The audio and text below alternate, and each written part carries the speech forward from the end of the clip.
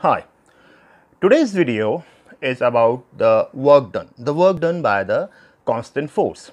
So it has actually, you know, the definition, the notes is basically a theoretical part which includes the work done the by a constant force, the positive work, negative work and also the when the work done is 0 and also the conditions when the work done is 0.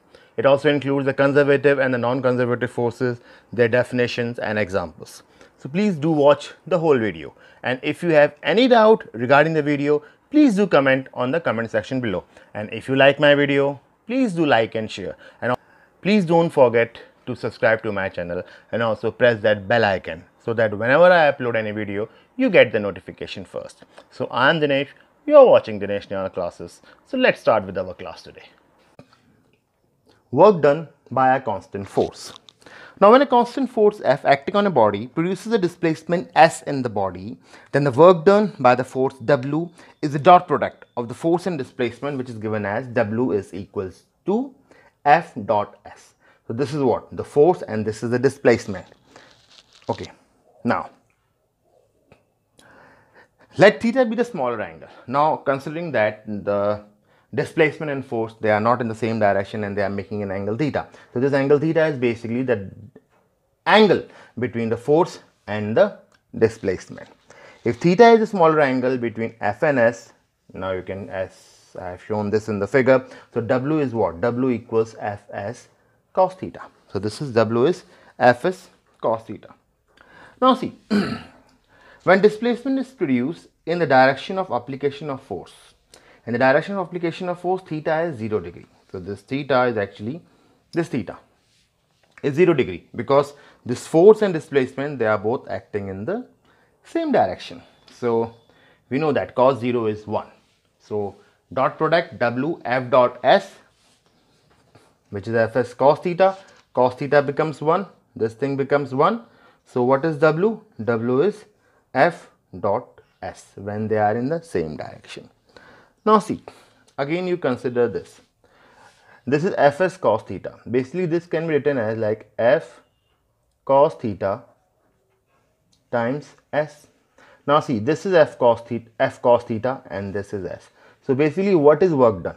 What work done when there is an angle between the applied force and the displacement. So work done is basically the component of force in the direction of displacement. Now f cos theta is what? It is the component of force in the direction of displacement into the magnitude of the displacement. Okay. Now, the SI units, the units of work done. we know that the SI unit of work done is joules. So, this is joules. SI unit of work done is joules. In CGS system, the unit of work is erg. This is erg and the relation between joule and erg is 1 joule is 10 to the power 7 ergs. So that's 1 joule is 10 to the power 7 erg. Now, nature of work done. Although work done is a scalar quantity, its value may be positive, negative or even 0. So first of all, what is the positive work? Again, we know that W is F dot S which is Fs cos theta. Now, the condition for the positive work is that when theta is acute means it is less than 90 degree.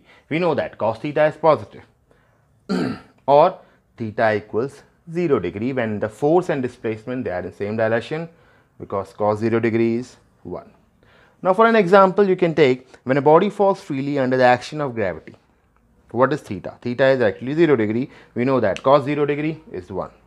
Therefore work done by the gravity on a body falling freely is positive. Similarly, if suppose they are making some angle theta, you can take an example like when a lawn roller is pulled by applying a force along the handle at an acute angle. We know that at an acute angle cos theta is positive and this is less than 90 cos theta is positive.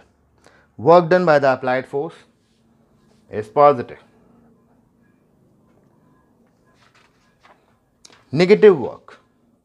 Now negative work is again W is F dot S which is Fs cos theta.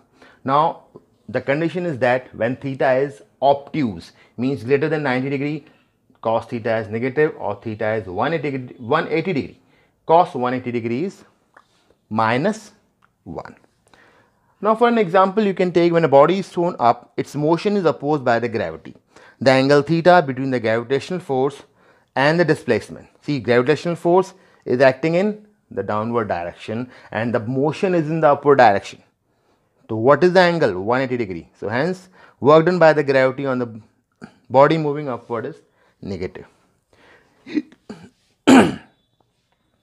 when a body is moved over a rough horizontal surface, the motion is opposed by the force of friction. Now see, hence work done by frictional force is negative. See, the point to be noted here is that work done by the applied force is not negative.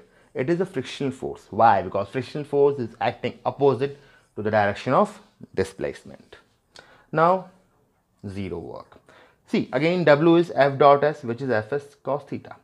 So, W is Fs cos theta. When work done is zero, that means Fs into cos theta is 0. So either force is 0, displacement is 0 or cos theta is 0. And we know that cos theta is 0. Cos theta is 0 when theta is 90 degree. So either f is 0, s is 0 or cos theta is 0. So cos theta is 0 when theta is 90 degree. Okay.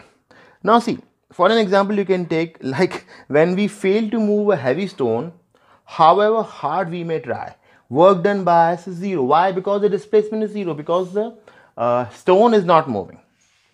Now similarly, when a coolie carrying some load on his head moves on a horizontal platform, what is theta? Is 90 degree. Therefore, the work done by the coolie is 0. Similarly, a person carrying a briefcase moves on a horizontal road, work done by the person will be 0 only. Okay, now you take an example this. Consider this. Now when a body is tied to one end of a string is rotated in a circle. Is rotated in a circle. Work done by the centripetal force applied along the string is zero because see now see centripetal force always act as center. Now this is the diagram at some for some instant. Now at this point the displacement vector is given by the tangent. We know that the angle between them is what? 90 degree. So if you apply the formula W is F dot S or Fs cos 90 cos 90 is 0 hence this total work done is 0. So here the work done is 0. Similarly no work is done when a satellite revolves in a circular orbit around a planet. Okay now comes the conservative forces. Now see a force is said to be conservative if work done by or against the force in moving a body depends only on the initial and the final position of the body and not on the nature of the path followed between the initial and the final position. These are known as the conservative forces. So mainly the work done depends only on the initial and final position. So and not on the path followed by them. Look at these four diagrams. Now see. In this case, sorry, in this case the object is carried vertically upward in this case it has carried through an inclined plane. They have the same height edge. Similarly with this it has been taken through the steps to the height edge. It has been taken to this path some random path to the height edge. Now if you see in all these cases the work done is basically mgh so these are what? These are the gravitational forces. So if you calculate and see we'll see that the total work done by these forces will be mgh. So, gravitational force is an example of conservative forces. Now see, there are other examples of conservative force. You can take elastic spring, electrostatic force between two electric charges, magnetic force between two magnetic poles. Now, one point which is to be noted is that in a conservative forces, we know that work done by or against a conservative force in moving through any round trip closed path. Now closed path means we have the same final and the initial position. Okay, where final and the initial position coincide or you can say same with the initial position means final position coincides with the initial position of the body then the work done is 0. So if you take a body from like A to B from here to here the work done will be the work done will always be 0 in the conservative forces. Now non-conservative forces. Now, a force is said to be a non-conservative force if the work done by or against the force in moving the body from one position to another depends on the path between the two positions. Examples is the friction, frictional forces. Now see, now frictional forces are non-conservative forces. If a body is moved from point A to another point B on a rough table, work done against the frictional force shall depend on the length of the path between A and B, not only on the positions of A and B. Now further, if the body is brought back to the initial position A, the work has to be done against the frictional forces which opposes the motion always or you can say which is always acts in the direction opposite to the motion. Hence, the work done against the frictional force in moving a body over a round trip is not zero in this case in a non-conservative force. Now, power. So, power is basically this is the rate of doing work which is work done by time W by T. Now, we know that work is what? Work is F into S. Now, this is F into S and we also know that S by T is what? the velocity. So hence power is can be written as the dot product of F dot V. So this is our another formula. Power is F dot V. Hmm. Now the SI unit of power is basically watt. 1 watt is defined as 1 joule by 1 second or when 1 joule of work is done in 1 second that is 1 watt. Another popular unit is horsepower HP and we know that 1 horsepower is 746 watts.